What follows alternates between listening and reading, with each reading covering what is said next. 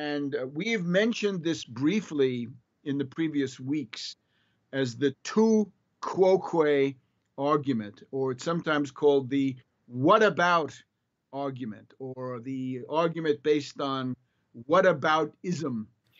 And the tu quoque. Let's spell that, and, and in case people want to look it up and describe it a bit more. Tu quoque is Latin, and it's tu. Tu is you, right? Many Romance languages, right?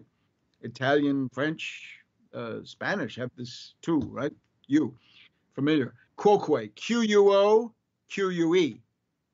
Q U O Q U E, quoque, it means you too, or you also, or what it means in, in real translation is you do the same thing, or you do the same thing and worse.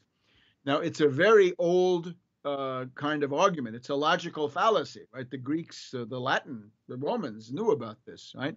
And uh, I guess under Roman law, that must be where this this uh, expression comes from. It, the general idea is that it is no defense if you're arraigned for some kind of a crime. It, it is no defense to say somebody else does it, or even to say you, the judge, or you, the prosecuting attorney, you do it too, or you do that and more. You do that and things that are even worse, right? So.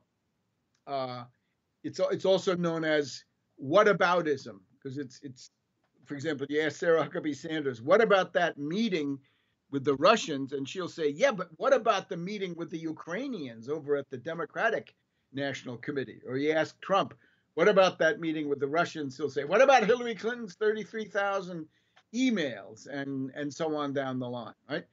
So I think people have to be more aware of this. Um, it is a logical fallacy.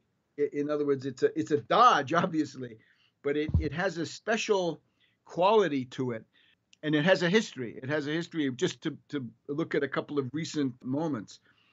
If you go and look at this movie, Judgment at Nuremberg, by um, Otto Preminger, I guess it is, you'll remember it's um, Burt Lancaster as the uh, as the Nazi judge, and Maximilian Schell as the German defense lawyer at the Nuremberg trials.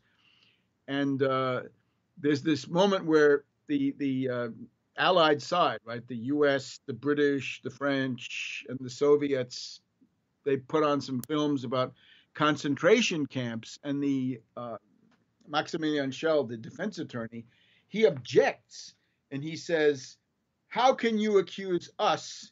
You who have put atomic bombs on civilians in Hiroshima and Nagasaki, you British who have firebombed Hamburg and killed 50 or 60,000 uh, people, civilians. How, how, how do we rate this kind of special uh, treatment? And that's the tu quoque argument. And that was, that was uniformly uh, a pleading by these different defendants, right? From Goering to uh, well, the, the whole crew, they all tried to do this. They all tried to say, this was war. You did the same thing. You even did worse things, and so forth. So this was disallowed. Now, of course, it, as a political ploy, it has some effect, especially because it's very often the case that the things they're talking about are real enough in that case, right? However, if you look at it in the current context, to say the answer to a question about the Russian collaboration, collusion, the Russian meetings, and so forth, and the pattern of constantly denying the Russians. To say that that equates to something else, you'd have to think about the orders of magnitude. You'd have to say, how big was this? How important was it? How many people were involved? How many lies were told to to hide it? Right, even under conditions where it was likely that that was going to be uh, found out. For example, would you say that the that the president of Ukraine, right, Poroshenko, right, who we don't like here, right, it's clear, it's Poroshenko, but if President Poroshenko, the chocolate king of Ukraine, the president, had given an order to the Ukrainian intelligence saying, "I want you to concentrate your efforts on on flipping the U.S. election against Trump," right, because that's what it would have been, because Trump was seen as too friendly to Moscow, and that's what the uh, the Ukrainians, the current government anyway, doesn't like the government in Kiev. Um, did uh, Poroshenko issue such an order? We don't. We don't have it. Uh, did this then lead to this huge effort with thousands of bots and hundreds and hundreds of fake news stories, manufactured scandals, ping pong pizza parlor, uh, pedophile story? Did that? You know, was there anything similar in magnitude to that? Uh, apparently not.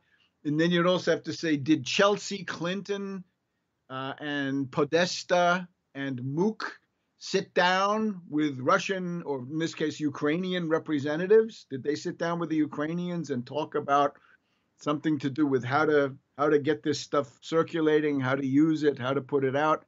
Apparently not. So in this case, the tu quoque argument, in addition to being a fallacy, it is a dodge. Now, the the, the general idea with the tu quoque is that it expresses a contempt for reality. In other words, it's it's a way of denying the relevance of reality. It's a way of saying it's all in the realm of opinion, and my opinion. Uh, if you have a bad opinion of me, I get to have a bad opinion of you, and then we're even, and we don't. You know, that's the end of it, right? We don't we don't get anywhere. The other thing specifically is that it's not just the Nuremberg defendants who used this on the Allies, right? And the Allies were the, the countries that I mentioned before, but that Soviet, Soviet uh, Russian propaganda tended to rely very, very heavily on the tu quoque, the what about um, uh, argument. You can go online, take a look at the Wikipedia article on tu quoque and you will you will see that they actually titled this page the the form of rebuttal which is you lynch black people and this is this is what it was that the US right the US information agency the voice of america would come out and say ah the russians the soviets they're keeping all these captive nations all these subject nationalities in eastern europe and the answer to that from the Russian Soviet side was to say, yeah, but you have lynchings of black people in America, right, in the American South. And that got to be a, a kind of a cliche in the Cold War. Uh, it was heavily, heavily relied on. And the um, at the time that the Soviet Union was breaking up, say the late 80s and the early 90s, right? Because that's when it did break up there was a, a tendency, even even in in Russia, right, even in the Soviet Union and then in the Russian Federation, to use this term "you lynch black people," cynically, sure, they would re- that was a way to refer to Soviet and communist uh, propaganda. Now that's obviously it's a provincial reading from the point of view of these people, but you get the idea that if you wanted to say I don't like this kind of propaganda, which is always based on buck passing. They would say, I don't like this this stuff about always bringing up the fact that the other side uh, lynches black people, which of course did did without a doubt go on as a very very serious matter. But in this case, uh, as I say, with Trump, it's there's there's nothing anywhere near that serious. It's referred to by, in particular, this guy Václav Havel, Václav Havel was a playwright, and he was part of, a, of an operation called Charter 77. And I'm sure the CIA had a hand in that. And I always had the impression with this guy that Freemasonic networks in Czechoslovakia were were um, a part of his success. But Václav Havel then became the very famous president of uh, Czechoslovakia, as long as it lasted, right? Because it then it divided between uh, Czechs and and Slovaks, and he he did an entire essay about this tu quoque, what about ism, and he found that this was a you know a, a very cynical demagogic trick. Really, the the total of Soviet propaganda would hardly be be uh, would be possible because of course it wasn't just limited to the narrow stuff that we've been saying so far. They'd do it about anything. They'd say, you know, you have people living in poverty, or you've just had riots, uh, and they've done this lately, right? They say people are getting shot in the streets. You're having a civil war like Beirut in your cities, and on and on and on.